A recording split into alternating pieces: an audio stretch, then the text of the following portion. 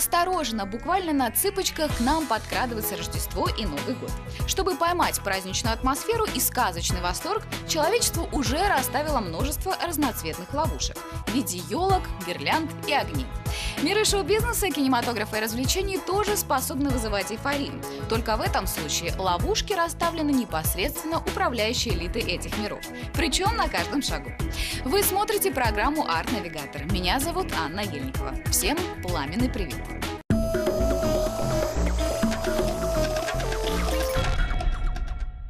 Пришло время разбить трехдневную голливудскую копилку. Посмотрим, что зрители на этот раз подложили в кинокассу. Золотые слитки или же пустую керамическую свинью. На очереди тройка лидеров кинопроката по Северной Америке.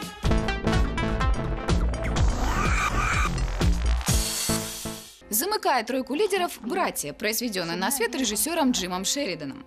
В центре сюжета любовный треугольник, который своими гранями сильно напоминает историю фильма «Перл Харбор». Два брата являются явными противоположностями друг другу. Старший Сэм – бравый офицер, любящий муж и отец, в то время как младший Томми мечется по жизни словно по лезвию бритвы. Уезжая добровольцем на войну в Афганистан, Сэм просит Томми позаботиться о жене Грейс. Однако незаметно между ними вдруг вспыхивает чувство. Породнились на экране актеры Джейк Джилленхол и Тоби Магуайр. За метаморфозами последнего особенно интересно наблюдать, поскольку после слюнтяйско-тряпочного образа Человека-паука он появился в новом-то себя амплуа – агрессивного психопата. Между двух огней затесалась очаровательная Натали Портман. Безусловно, актерский состав – это одна из сильнейших сторон фильма. В целом, это рядовая социальная драма с военными вкраплениями и с хорошо прожаренным саспенсом. Семейный бюджет фильма в премьерный уикенд поступило 10 миллионов долларов. Третье место.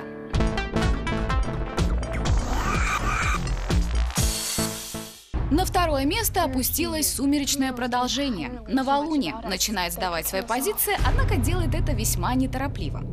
Вампирская романтика – дело вкуса. Фильм можно критиковать и можно восторгаться, но равнодушных, безусловно, почти не осталось. Рейтинговые агентства уже зафиксировали рекорд кассовых сборов. Главной причиной такого успеха стала удачная экранизация первой части книг Стефани Майер. Поклонники вампирской саги с нетерпением ожидали продолжения, затаив дыхание почти на целый год. К сожалению, тот эффект, который производит книга, не удалось воплотить в фильме. Безусловно, некоторые ключевые сцены, наполненные действиями и спецэффектами, скрасили довольно тоскливое повествование. В отличие от голливудских блокбастеров, где люди корчатся, превращаясь в оборотней, в новолунии метаморфозов гигантских волков происходит в прыжке, когда их одежда, разорванная в клочья, разлетается в стороны. Это отчасти и послужило причиной успеха среди юных впечатлительных барышей. Зрители постарше довольно громко посмеялись над чересчур наивными диалогами и поступками героев. В очередной фазе новолуния в кассу фильма прибыло еще 16 миллионов долларов. Второе место.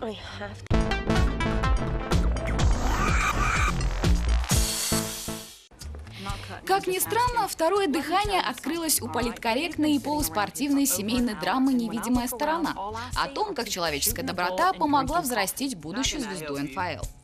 Матери семейства в исполнении Сандры Буллок однозначно потребовалось значительно мужества, поскольку усыновленный беспризорник вымахал верзилы по 2 метра ростом. Зато его природные данные позволили ему стать звездой американского футбола. Выдающихся особенностей у ленты нет, кроме заложенной в повествование удивительной правдивой истории жизни перспективного футболиста Майкла Уэра. Очевидно, фильм обладает редким даром, поскольку на третьей неделе проката не оказался на скамейке запасных, а наоборот прорвался вперед, все-таки завоевав золотую медаль. Первое место – 20 миллионов долларов в кассе фильма.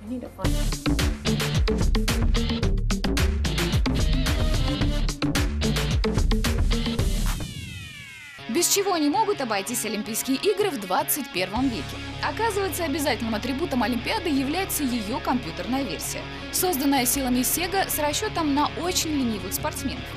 Готовится к старту официальная видеоигра 21-х зимних Олимпийских игр в Канаде «Ванкувер 2010». Основной упор в игрушке будет сделан на адреналиновые виды спорта – горные лыжи, сноуборд, коньки. Также нас ждут прыжки на лыжах с трамплина, биатлон, бобслей, фристайл и так далее. Одним словом, практически все представлены на Олимпиаде виды спорта.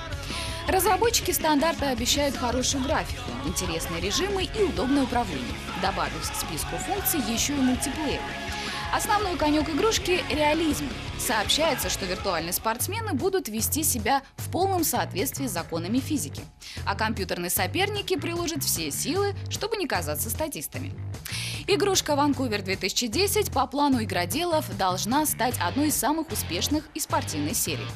И к этому есть все основания. Выпущенная в прошлом Олимпийском году, игрушка Пекин 2008 разошлась миллионным тиражом. В случае с версией этого года есть повод ждать еще большей отдачи. В продажу Ванкувер 2010 поступит ровно за месяц до старта Олимпиады, 12 января 2010 года.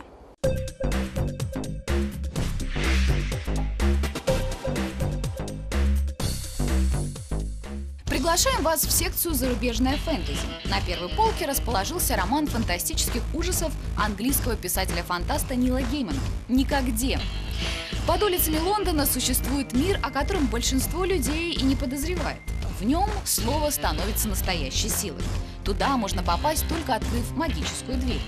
Этот мир полон опасностей, населен святыми и монстрами, убийцами и ангелами. Нил Гейман – автор многих графических романов, комиксов и сценариев фильмов, среди которых «Беовульф» Роберта Земекиса и экранизация его собственного романа «Зеркальная маска». Вышедшая в этом году анимационная лента «Каролина» также была снята по его одноименному роману. Впервые на русском, пожалуй, самый знаменитый латиноамериканский роман последних лет. Лауреат ряда престижных премий, переведенный на многие языки мира. «Прошлое» аргентинского писателя Алана Пауса. Этот роман – затяжной прыжок в зыбкий мир обостренных чувств, не всегда здоровых сексуальных фантазий и маячащего где-то рядом безумия. Главные герои книги, Ремини и София, решают разойтись после 12 лет совместной жизни. Ремини, переводчик, делает осознанный выбор – сошествие в ад существования рефлексирующего холостяка. София же, чья любовь к нему лишь крепнет, вступает в общество женщин, которые любят слишком сильно. Прошлое называли головокрушительной сексуальной одиссеей, сравнивая с признанными шедеврами Пруста и Набокова. В 2007 году роман был экранизирован лауреатом Оскара Эктором Бабенко, причем главную роль исполнил Гаэль Гарсия Берналь, звезда фильмов Альмудавара. Опыт показал, радикальные перемены снаружи являются катализатором внутренних преображений и открытий. Привычные жизненные картины на глазах оживают и загораются огнем страсти. Не бойтесь менять и меняться. Мы с вами увидимся ровно через неделю на канале RTVI. Удачных вам экспериментов и до встречи!